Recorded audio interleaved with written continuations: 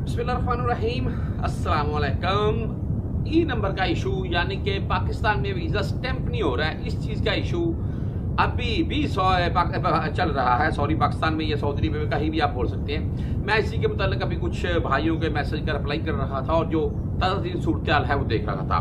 देखें, सऊदी से वकाला बन गया। वीज़ा आ गया जी भाई मेरा। आपने कहीं भी, आप, यानी कि वीज़ा कराची वैसे ही में आता है, उसके बाद आप जिस, किसी शहर में हैं वहाँ किसी एजेंट से रब्ता करते हैं। एजेंट से मुराद है जिन बंदों ने एजेंसी बनाई होती है।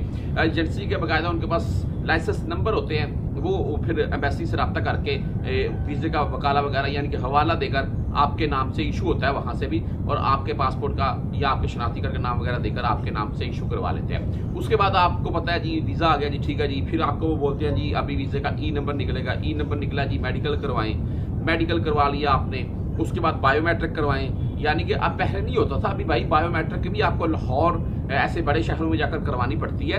उसकी रीज़न ये है जी कि उसके लिए ये बायोमेट्रिक इसलिए लाजम है कि कोई किसी किस्म का आपके ऊपर क्रिमिनल रिकॉर्ड तो नहीं है, यानी कि कानून के जुमरे में आप भाई मतलूब तो नहीं है। फिर उसके बाद भाई आपका वीज़ा स्टैंप होने के लिए जाता है, फिर वीज़ा स्टैंप हो गया जाता है, फिर आप टिकट परचेस करते हैं, फिर सफ़र करते हैं, ऐसे ही होता है ना। तो वकाला, वकाले के बाद अब ई नंबर के ऊपर बात रुकी हुई है।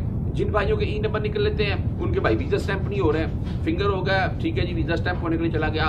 वीज़ा स्टैंप नहीं हो रहा है। अब ऐसी में वीज़ा पड़ा हुआ है जी, वो बोल रहे हैं जी वीज़ा स्टैंप नहीं हो रहा है ये है, वो है। तो अभी बात ये वीडियो में सिर्फ़ ये करने वाला था कि ईद से पहले की मैं वीडियोस बना रखा हूँ और आप भाइयों को इसके मतलब गाइड कर रहा हूँ। तो अभी ईद गुजर चुकी है। आज अम्बेसी ओपन हो चुकी पाकिस्तान में, कराची अम्बेसी बोल रहे तो वहाँ पर आज वर्किंग का काम शुरू हो चुका है। यानी कि बंदों के जो वीज़े वगैरह हैं, उनके ठप्पा लगना शुरू हो चुके हैं। इसमें क्या अभी ईद गुजर चुकी है तो क्या अभी ई नंबर का इश्यू जो है वो क्लियर होगा या वीज़ा स्टैम्प होना शुरू हो जाएँगे?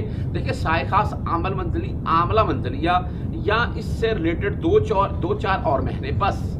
बागी साइक शाहना वगैरह, आमल वगैरह, या कंपनी, या मुसस्सा के वीज़े, वो भाई लग रहे हैं, वो बंदे सफ़र भी कर रहे हैं, उनको कोई मुश्किल नहीं है। हाँ साय खास आमल मंजरी, या आमला मंजरी, या इसके, इसी से रिलेटेड एक दो और महीने हैं। सॉरी जिनका इशू चल रहा है। तो ये इस, इनका इशू अभी भी चल रहा है। अभी ईद गुजर चुकी है तो भाई मुझे धड़ाधड़ से मैसेज किए जा रहे हैं कि भाई अभी ईद के बाद क्या काम ये एक दो दिन में शुरू हो जाएगा।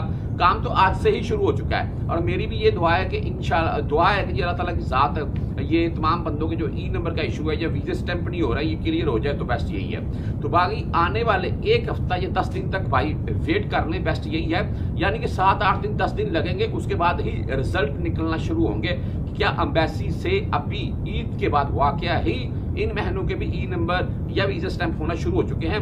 अगर खुदा न खास्ता भाई, ये मसला क्लियर आठ, दस दिन, पंद्रह दिन में नहीं होता है तो फिर वही बात जो पुरानी दोहरा रहा हूँ, यानी कि हमें अपना महीने बदल की तरफ़ जाना पड़ेगा। वकाला में अगर खुदा न खास्ता वो काम भी ना हुआ तो फिर हो सकता है वीज़े बदल करना पड़ जाए, यानी कि वीज़े चेंज करवाना पड़ जाए। ये सीन हो चल चल सकता